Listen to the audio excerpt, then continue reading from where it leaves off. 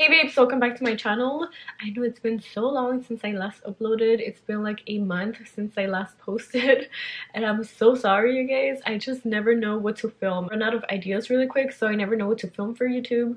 So if you have any suggestions, please comment them down below. It'll really help me out. So today I wanted to talk about my breast augmentation. Today is my four month post-op and there has been a lot of changes. So I want to talk about that and I want to give you guys tips if you guys are like thinking about getting a breast augmentation. So this is how my boobs look like at four months they have dropped a lot so i don't know if i mentioned in my first breast augmentation video that i couldn't feel my right nipple it was like completely numb but it's not numb no more i i completely feel it Another thing that I wanted to talk about are stretch marks. And Lord Jesus, I should have been prepared.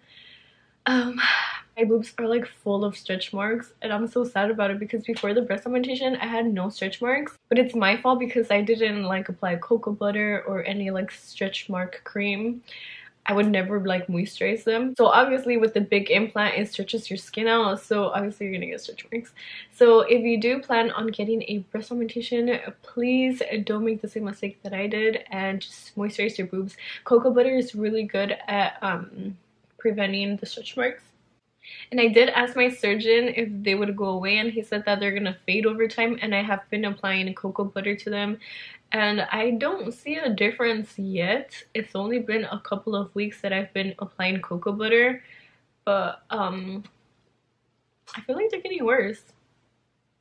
Okay, so another tip that I have for you guys if you guys do plan on getting a breast augmentation is to always wear your surgical bra right after surgery because that's a mistake that I did.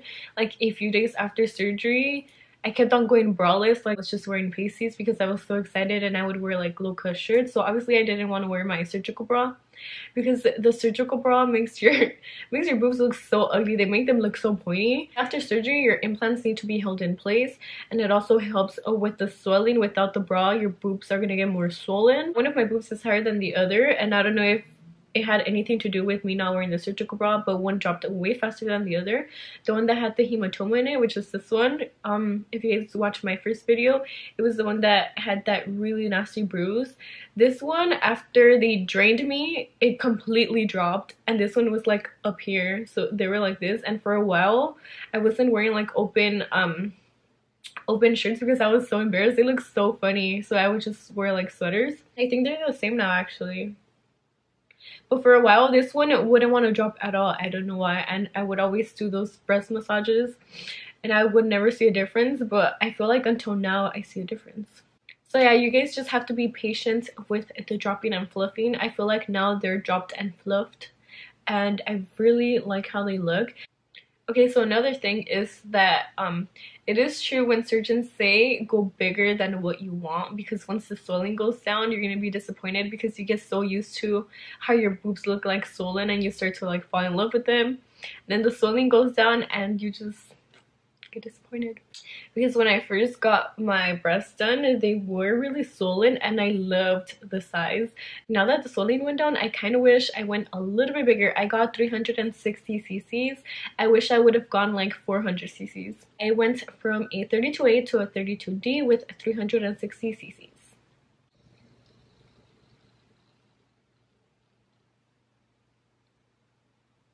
And another question that I do get asked a lot is who my surgeon is and I went to Dr. Taneja.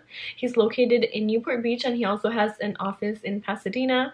So if you guys go to him, tell him that I sent you. So I have more tips for you guys. While I was recovering, I drank arnica tea and I took arnica pills. Those are really helpful um, for the bruising and the swelling. It helps um, the bruising go down and it helps with pain as well. I have more tips for you guys.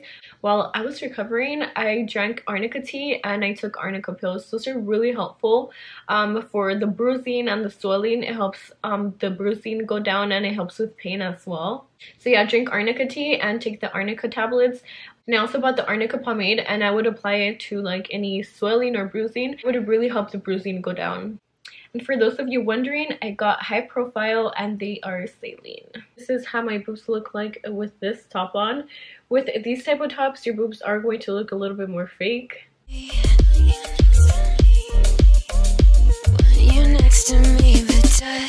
that